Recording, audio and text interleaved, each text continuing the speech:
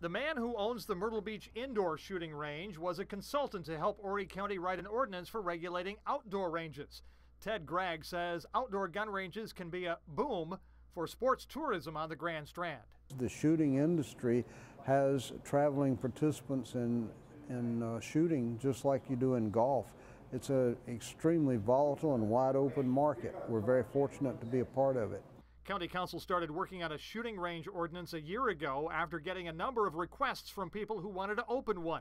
The end result is a law that sets up building standards and zoning limitations so gun enthusiasts can have a place to shoot safely besides their backyards. It pulls everything together uh, so that it can be done properly and it can be as, as least nuisance to the public as possible. County Councilman Bob Grabowski works for PTR Industries, the new firearms manufacturer in Horry County.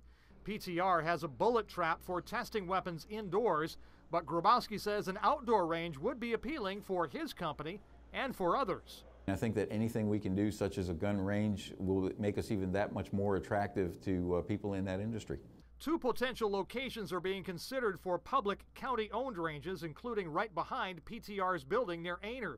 But no matter where they end up, Gregg says people will want to use outdoor ranges in Horry County. Weather's perfect. You couldn't ask for better weather.